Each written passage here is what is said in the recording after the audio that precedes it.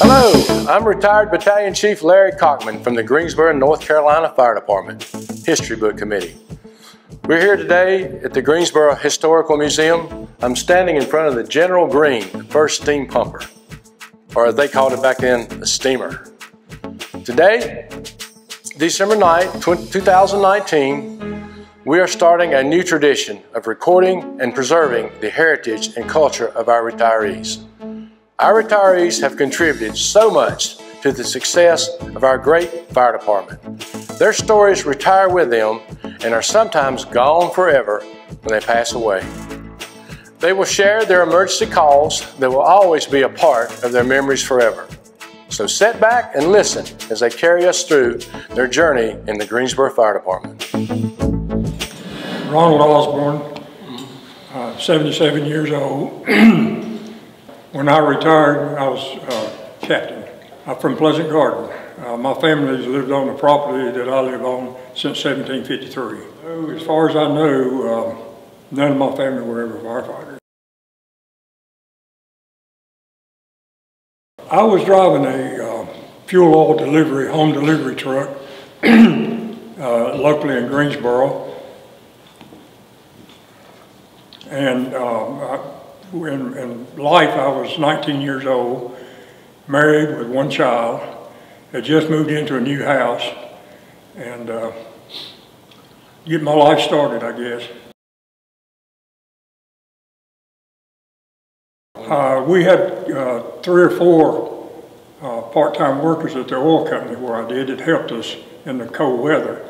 It was Graham Fuquay and uh, Sam Goins and the Red Wren, and they all uh, occasionally rode with me, and they kept telling me I need to be a firefighter.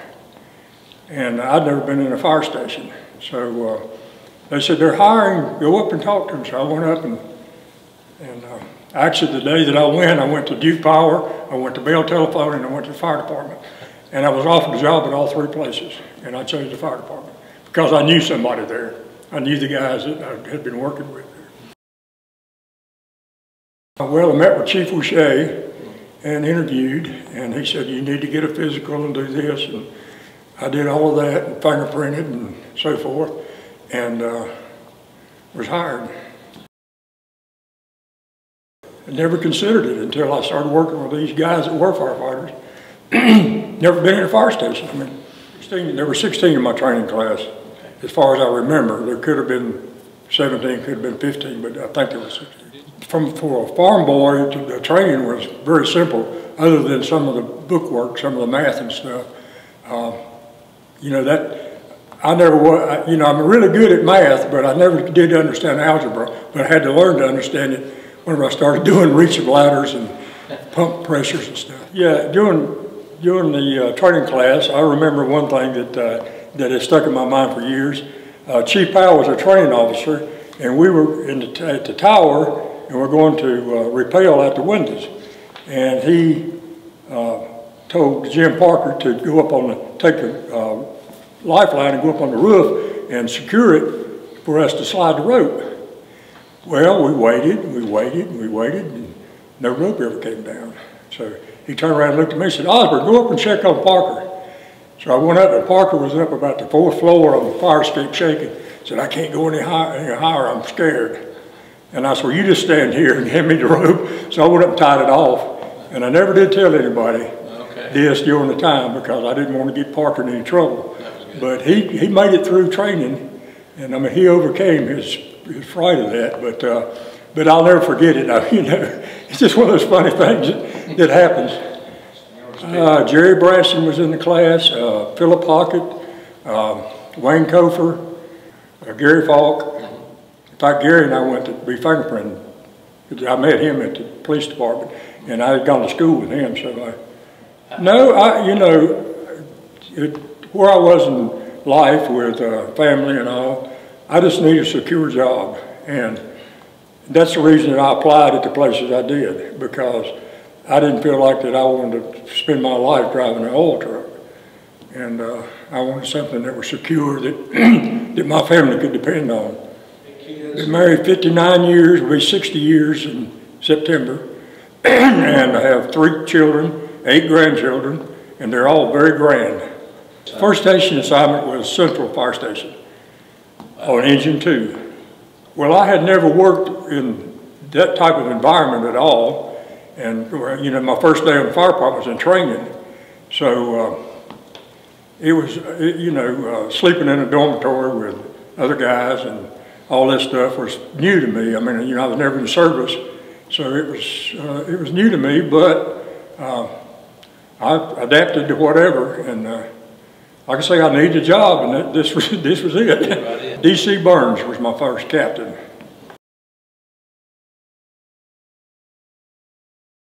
There were several of the people I went through training were there. Uh, Philip Hockett was there. Jerry Branson was there. Wayne Cofer was there. And uh, of course there was Jay Lewis and I, the one that was in my training class I forgot was uh, Spooky Phillips, Clarence Phillips, and he was quite a character. Yeah, I was I was called the Oz. No, Jerry Branson I think's the one that came up with it, and uh, he said, "Here comes the Oz."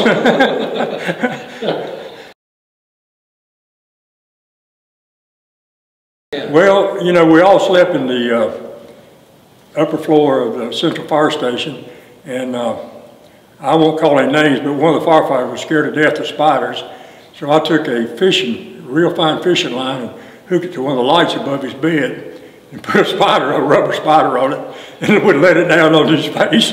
and he'd smack that thing and I'd pull it back up. and everybody in the, in the uh, dormitory was awake by that time, wondering what was hollering and trying, trying to kill that rubber spider.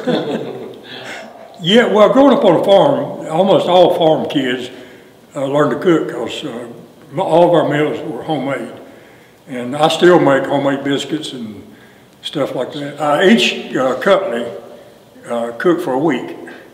So, you know, ever, there were four companies in Central Fire Station. So once a month, you had one week a month to cook. And uh, the captain would uh, tell you, tomorrow's your day to cook.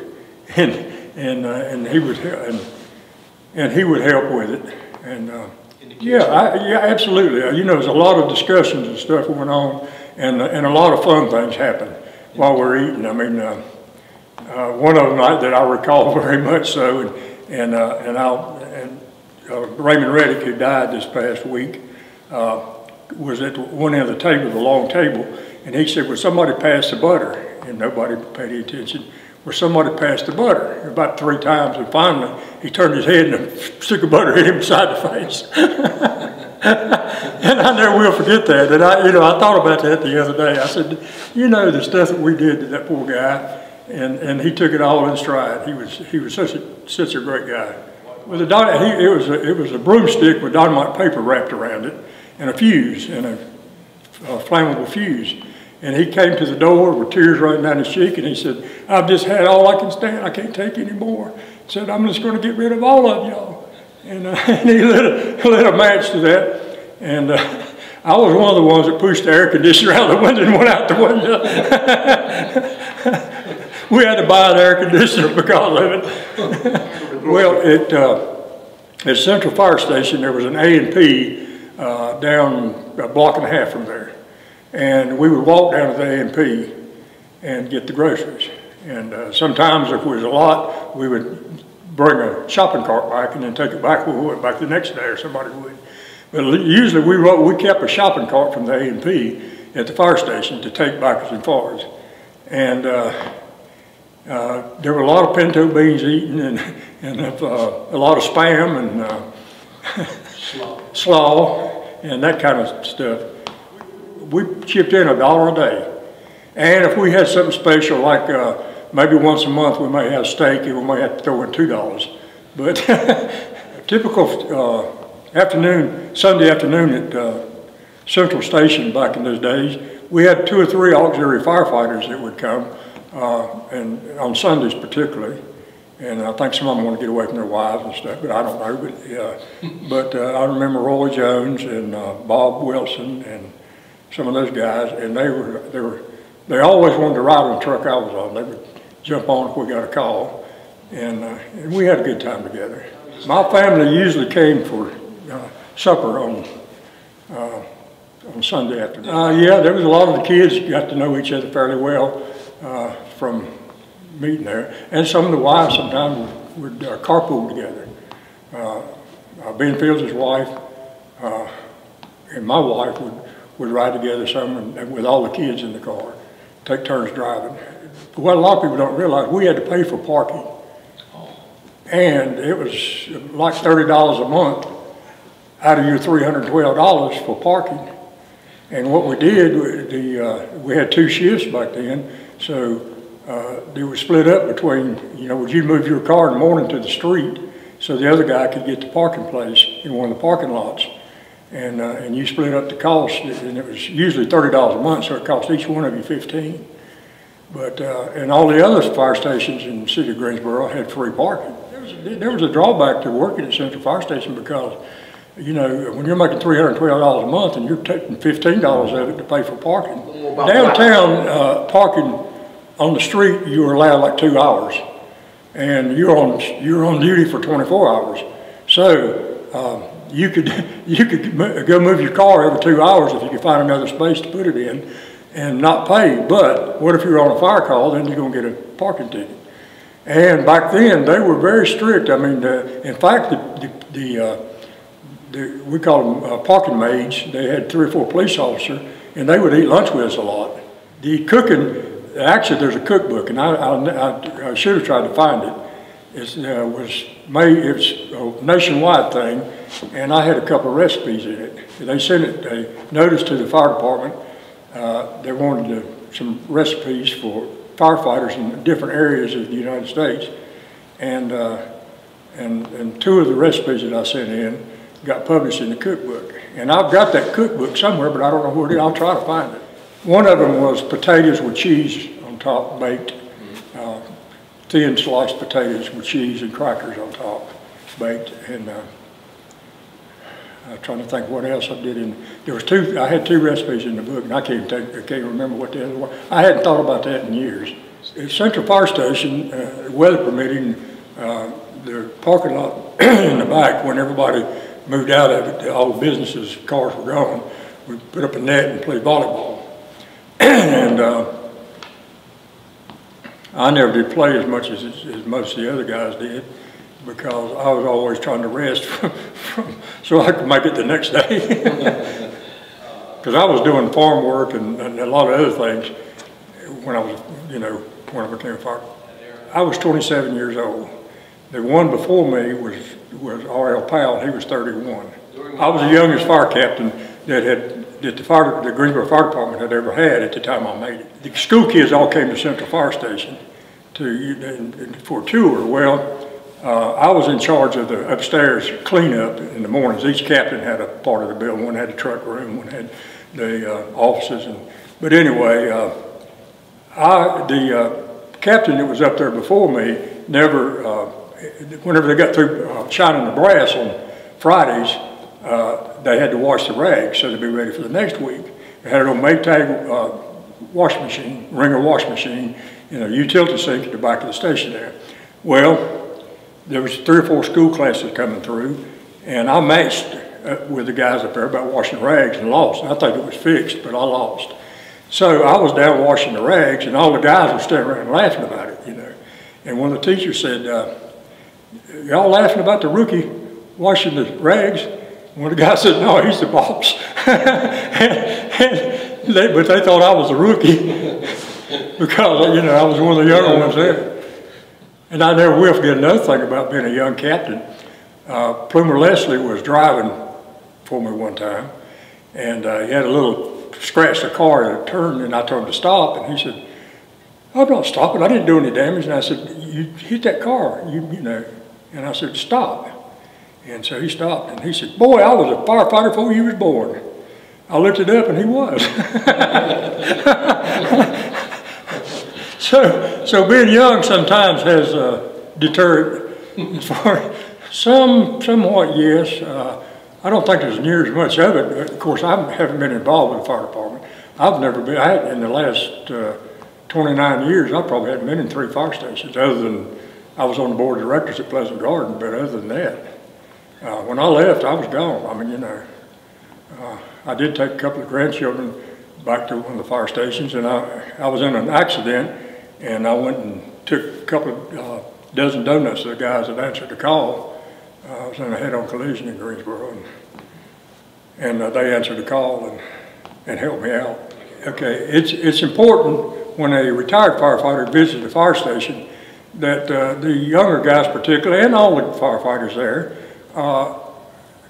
be, uh, try to learn from them and, uh, and, and, and, uh, and let them know about what, how things are done in the present and, uh, and the retired guy can let them know how it was done in the past. And, uh, and both, both of you, both parties can learn from that. Some people it's just a job. Others it's a, it is a passion of, uh, to me it was a passion. And I can tell you, I've made a lot more money away from the fire department my whole career than I ever made at the fire department. And uh, it was a passion to me once I learned about helping people. And I've carried that on after my retirement, not in the fire service, but I've been on disaster things to, started at, uh, in Florida when Andrew hit down there. I spent a month down there. And uh, all the way to Katrina, to, uh, I spent down at uh, New Orleans rebuilding. And uh, drove there, paid my own expenses, and, you know, and, and helped. But uh, I've been fortunate to be able to do that. And in fact, I had employees that went with me and I paid their salary while they were there to help. The first call that I remember going on that we had a working fire was on Church Street. And it was a, uh, some type of a garage with mechanics working in it. I don't remember the name of it, but uh, it was burning and there was a, a so I don't oil or gas fire. And uh, I can't remember who it was, but one of the other rookies called a hydrant, or was supposed to catch a hydrant, and for some reason he was trying to turn turn it on the wrong way, and we didn't get water. So, so uh, I saw what was happening. I said, "We can't get, we don't have any water. We don't have any water." So I ran back up and turned it the right way. he was trying to turn it off, and you can't turn it. Once the hydrant's off, you can't keep turning it. I ran. I did. I was. I rode the rescue about every day that I was there at Central Fire Station and at Station 5. And uh, that, most of it was wrecks and drownings. I went on like 29 drownings in my career. And uh, the one that I remember the most, there were twin brothers drowned out And uh, out off of uh, Window or towards Barlington area. And uh, I mean, some of those are still, but uh, I know we found the one, I didn't know there were two two of them had drowned, and uh, we uh, found found the body of one, got it out, and I said uh, went over to the grandfather who was there fishing with him, and said, "I'm sorry about all this," and he said, "Are you not going to get his brother out?" And I said, "I had no idea that there were two drownings, but one of them went in to to, to free up a hook." And didn't come up, and the other, the other brother went in to get him, and both of them drowned. And stuff like that, you know, stays with you the rest of your life. Uh, doing rescue work, there's some things that uh, stand out. One that I never forget, uh, there was an accident at NC 62 and Randleman Road, right there, two miles, two and a half miles from my house, which I got through that, I went through that intersection this morning. But anyway, there was a Volkswagen had ran underneath a big uh, flatbed truck. Uh, and there was a child there that had a piece of glass stuck straight inside. And, uh, and I looked at it and I said, what in the world? Well, it was a convenience store right across 50 yards from there. And I told somebody, go get me a paper cup. And I put the cup over the eye and taped it. And uh, I got a notice from the doctor at the hospital wanted to know when I went back to the fire station the next day that I worked, wanted to know who did that. I thought I was going to be reprimanded. And he said, you saved that child's life by doing that. And uh, stuff like that, you know, is just. During 9 11, uh, my first thing would be uh, whoever did this, give me their names and I'll take care of it. Because I, you know, I'm a, I'm a person that uh, believes in an eye for an eye and a tooth for a tooth. You mess with me, you're gonna get messed with. when I found out about, I was going walk, walked into the barber shop that morning, and I had not heard anything about it. And, and it was the first plane that crashed into the building, and uh, one of, one of my uh, cousins, who I don't know whether you ever met Chip Osborne or not, but he's uh, still teaches fire science and somewhere down in Rockingham County or somewhere, I don't know where. But anyway, not Rockingham, down in Troy area. But uh, he uh, he was in the barber chair, and I said something about this firefighters going in. Uh, I said that's you know that's their final thing is going in that building. He said, "Oh no," I said they know what they're doing. I said those buildings are not built for that kind of truck. I said it rattled that building. Every bolt in that building is loose. And I said, and it will collapse. Oh, no, no, no, those buildings are built for that. I said, no, they're not. And uh, while I was sitting there, the first building went down. And, uh, I said, he said, I can't believe that. I said, you know, if you know anything about structures and know anything about engineering, you don't figure those factors in.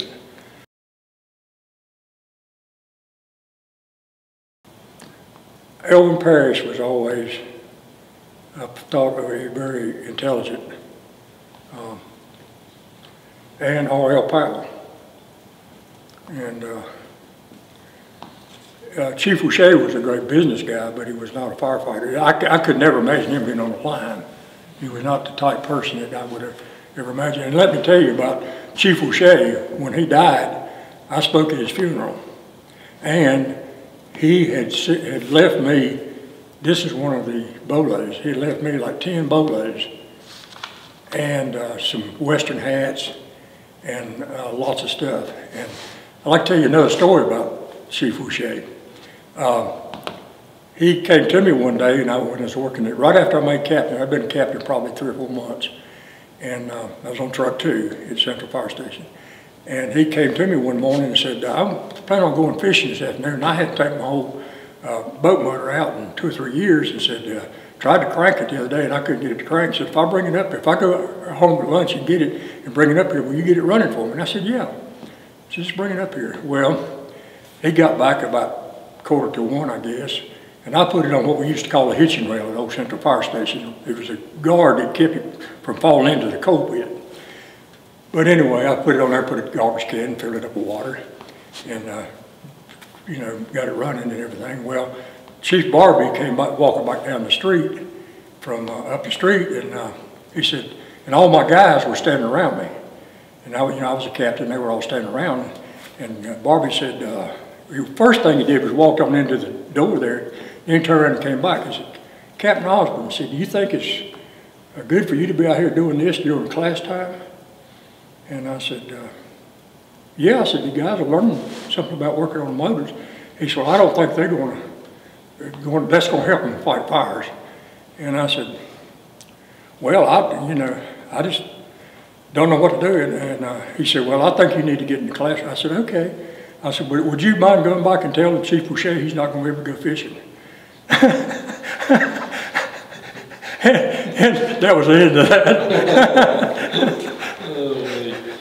Um, by the way, I kept up the Atwood motors and stuff that were that were used in the rescue.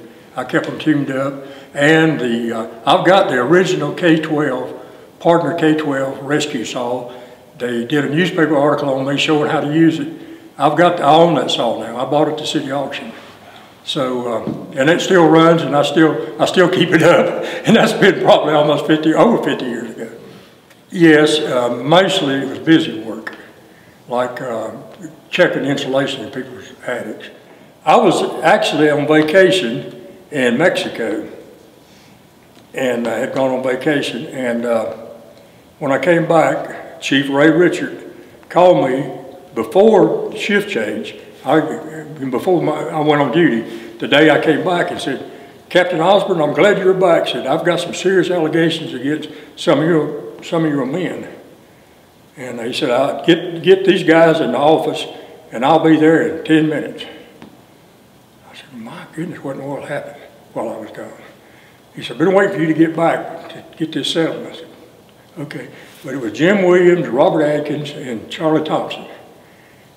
So I called them in the office, and we were sitting there talking to each other, you know, when he came in. Came in, opened his briefcase, and uh, he said, I want to tell you guys, I want some straight answers here. said, uh, uh, this is serious allegations and so forth and so on. He said, uh, do you remember going down to a certain house, one of the streets there behind Station 10, and uh, checking the insulation? He said there was a girl there with a, a young lady in a bikini, and y'all went in and talked to her. I said, oh my gosh. I mean, you can imagine what was going through my mind. And uh, he, they said, yeah, we remember. He said, well, do you remember checking the insulation in the attic? And uh, them there and kind of questioned it. No, said she said that they had six inches up there and we didn't go check it. You didn't check it? No. Where they actually had 10 inches of insulation in the attic or something, you know, something wasn't what they said. And uh, they said, you didn't check it, so you're supposed to be checking it. So we, you can't go in somebody's house and tell them, well, you're lying, I need to look at it. I mean, that was what I, that's what I said. And uh, he said, well, uh, we're supposed to be doing a job and I want these guys to do it right. He said, they're going to have to be reprimanded for this. I said, you three guys can leave. I can handle this. Because if this is what this is all about, and boy, I jumped in his stuff, and I, told, I said, there will be a, a letter of apology here to these uh, three guys before they leave in the morning. He said, hell will freeze over before you'll see anything from me. And I said, okay. He left. Before he got to the driveway, I was talking to Chief Powell on the phone. Chief Powell said, well, Captain Osborne, I don't know what she did. I said, well, you're in the line of uh, calling, the next one's going to the city manager. Now, if you want to do something about it, fine. If you don't, well, make a long story short, you can ask Jim Williams. I think he's supposed to be here this morning. You can ask him. He, he got a letter from the next morning before he left from uh, Ray Richard apologizing for. But, uh, you know, that's what an officer's supposed to do. You're supposed to stand up for your men. You know, uh, I would never ask anybody to do anything that I won't do. I would never tell you to go in a building I won't go in. And, uh, and you know, and I think it's, the most heartbreaking moment I had, and I don't remember the exact date, uh, I was riding truck one, I think, at the time, but we went down, and that's when L. Richardson Hospital was down in uh, southeast Greensboro. And inside of the hospital, there was a house fire, and, uh, and I went in, went up a shed roof into the bedroom window and found two children, one in the bed and one on the floor. Took them out, both, both of them deceased, and I took, took them out, let them down. And uh, before we cleared that call, we got another call on Church Street, no, Summit Avenue, out there right before we get to Station 12 on the right, there was a house trailer park there. There's a house trailer. Two more children died in that fire. There was four of them within two hours of each other, four children. And I found all four of them. And that is probably the saddest day because I had children about their age. And uh, like I say, there's some things that, that you carry. I never mentioned to my family. I never told my, I still haven't never told my family. Uh, probably my proudest moment, uh, I was in the Jaycees back years and years ago and uh, the burn center down at uh, our Chapel Hill, University Chapel Hill, uh, UNC Hospital. Um, we're starting a burn center, and the Jaycees were selling jelly. Well, I contacted the Jaycee headquarters and arranged to sell the first jar jelly in North Carolina. And it was televised and everything, and in the newspaper, picture of me selling it at Central Fire Station to a burn doctor, to a doctor that that work with burn victims.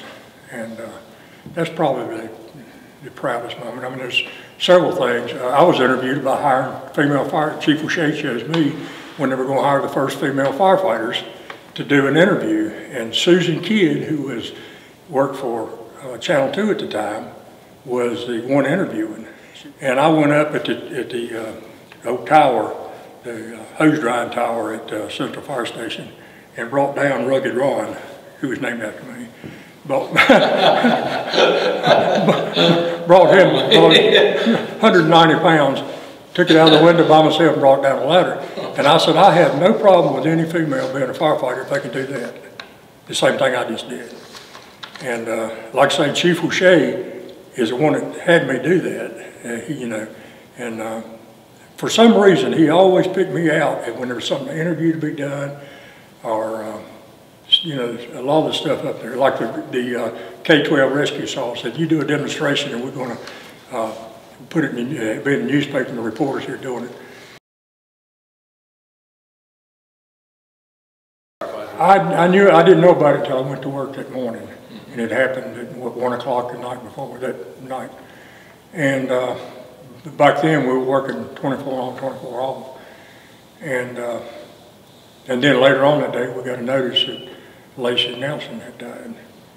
And uh, so two firefighters, and that was the last day of uh, that decade. It's, it's really sad. It's really sad that uh, uh, trying to figure out how that can be avoided was my first thought was, you know, we need to uh, figure out how for this not to happen again. And um, there are several things, you know, that happened in the fire department that uh, afterthought changed. And I can give you another example of that. Um, Jim Parker was, we were out at the mill, Revolution Mill, and uh, Jim Parker was standing over watching everybody work, cleaning up the place, and the trucks were sitting outside running, and I said, will you go out and turn the trucks off? They're gonna run out of fuel. I said, we've been here an hour and a half. He went out there and he came back in in about 10 minutes. He says, Captain Osborne. Now, he was a private at the time. I knew he went on to become a battalion chief.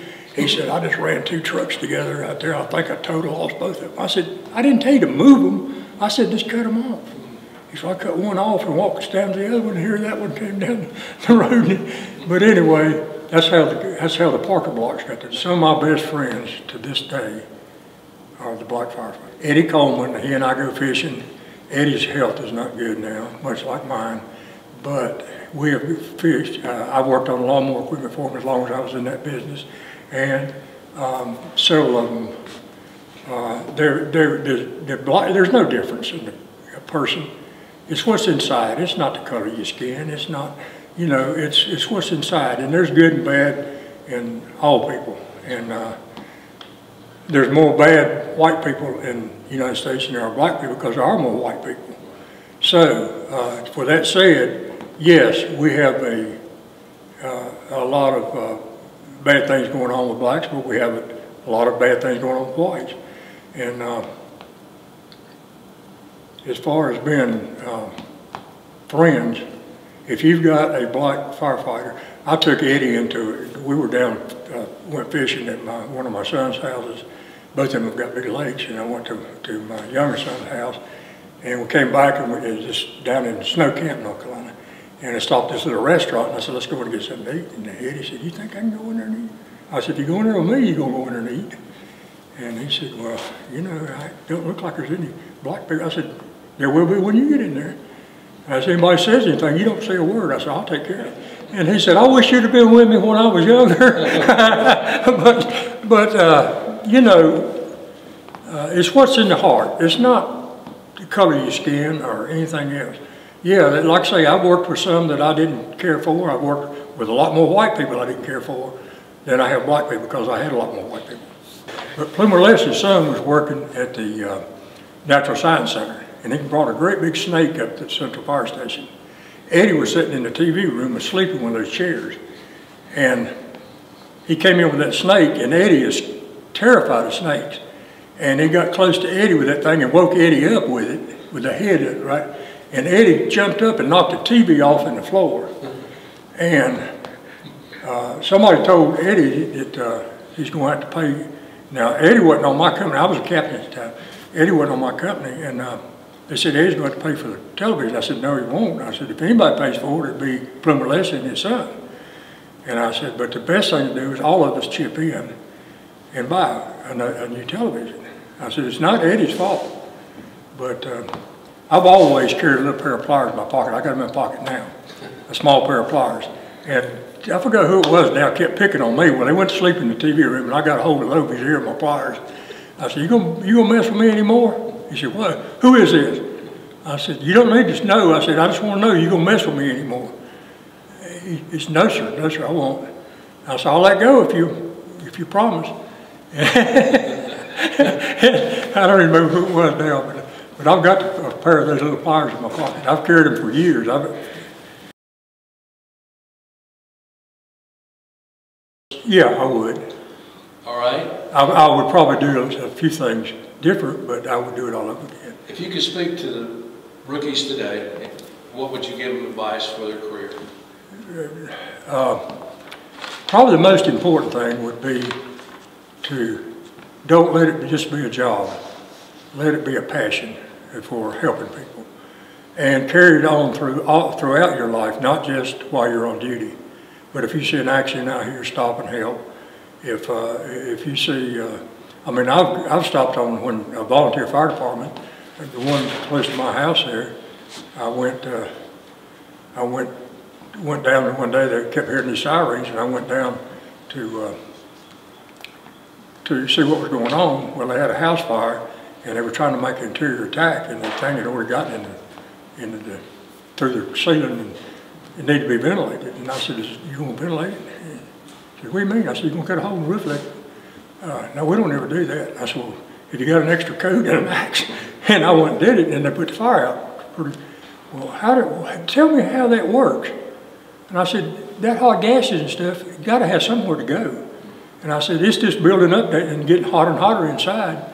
And it's just like inside of a stove. I said, if you can't go out the chimney, you know, something's gonna, it's gonna burn everything up. And, uh, they said, well, you know, and this was the fire chief, I said, you know, I never really understood that, why they always cut a hole in the roof.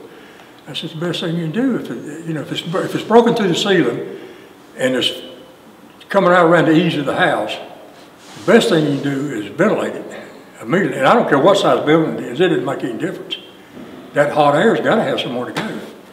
And uh, until you understand firefighting totally, I mean, you know, when I came on the fire department, the first thing I wanted to do, if it, if it broke through the, the uh, roof, was put a air ladder nozzle in it. And, and that, we burned the building down. I mean, we burned it down. It didn't burn, you know, it probably would have gone out if we had, if we had to. but, but, uh, you know, that's, that's firefighting. But if you don't learn from mistakes, uh, then you're not a good firefighter. Learn from your mistakes and don't make that mistake again. You know, whatever it may be. I, I will tell you, my wife and I, you, I may have told you this, uh, were invited to be in the royal tent with the royal family for the Highland Games in 2017. The only American couple that's ever been in there. Wow. And I got, got? I got, I got pictures shaking hands with Prince Charles. And I got the copy of the uh, gold uh, leaf thing that says you're invited to, uh, to join the, in the, in the royal tent during the Highland Games. Back, uh, when I retired, I had one grandchild. He was three and a half months old. And uh, for his first Christmas, I retired the 1st of July of 1991. And for his first Christmas, I built him a toy box in the shape of a fire truck. And the size of it is what one sheet of plywood would build. So my daughter put a mattress in the back of it, and he slept in it until he was about three years old. And he would get in it every day and play. It had a red light that went round and round on top, and a, and a, a rope where you could make a bell ring. And the little steering wheel was about probably eight inch diameter, and I carved it out of a solid piece of walnut. Well, uh, when he was about two and about three years old, uh, my daughter and her husband uh, separated and divorced, and she didn't have a place to keep the fire truck, so I took it and put it in the garage with my show cars. And every time he'd come, he would sit in it for hours. Well, when he got to be about six or seven years old, he came to me one day and he said, Papa, I'd like to drive my fire truck. Well, the little fire truck had wooden wheels and it wasn't drivable at all. But I got thinking I'd be better if I just built him another one. But he said, I want to drive that one. So I took it into the garage and my, built a running gear with the steering and everything, with brakes, forward and reverse, an electric motor that, that I had taken out of an electric lawnmower. And uh, and built it into a fire truck that would go about 12 miles per hour forward and reverse. Uh, put disc brakes on it, steering. Used the same little walnut steering wheel because a bigger steering wheel there was not room for it. And uh, put a pump on it that pumped 60 pounds pressure water. Uh, the, used a six gallon uh, diesel fuel tank underneath the seat for water. And uh, uh, the kids, uh, three or four of them would get in the back, two in the cab, and they would, I I built a little car, put a metal hood on it, one of these little plastic cars that children ride around in, battery powered cars. It was actually a Jeep. And made, put a metal hood on it and put a stainless steel uh, container in there that I could put oil and rags in and set them on fire. And then they would come and put the fire out. And they were in parades. They were in one in Summerfield. They were one in Stokesdale, uh, Pleasant Garden, couple down in Alamance County. But, and at their school, when they were in kindergarten and first grade, second grade, I would take the fire truck there and they would uh, show it, uh, do a demonstration with it. But uh, I still have the fire truck. It doesn't belong to me. It belongs to my grandson who's 29 years old now.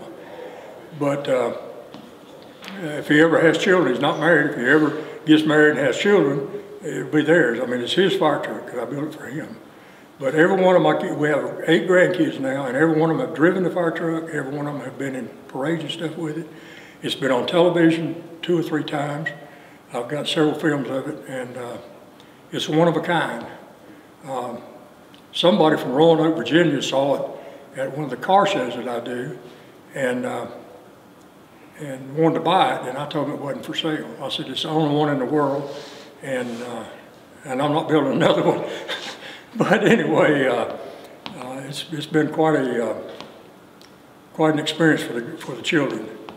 But uh, Roy's folks, and I've got a copy of that, that uh, I, I, should send it to, you make an extra copy and send it to the fire department so everybody can see it, of the video of it.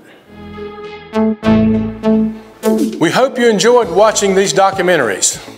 It was our goal to share and preserve the memories of our retired Greensboro firefighters. It is our desire that these documentaries will inspire future generations to continue the brotherhood, sisterhood, and camaraderie while always striving for excellence in their careers. While fire apparatus, equipment, and technology have improved, several things will always remain the same. The courage and bravery it takes to mitigate natural and man-made disasters will always be a part of the job. Although our retirees are no longer a physical part of the GFD world, a giant piece of each retiree's memories have been shared with you today. These memories will be in their hearts and minds forever. A special thank you goes out to Captain Harold Haney for his many long hours of recording and editing. Thank you, Harold. A job well done.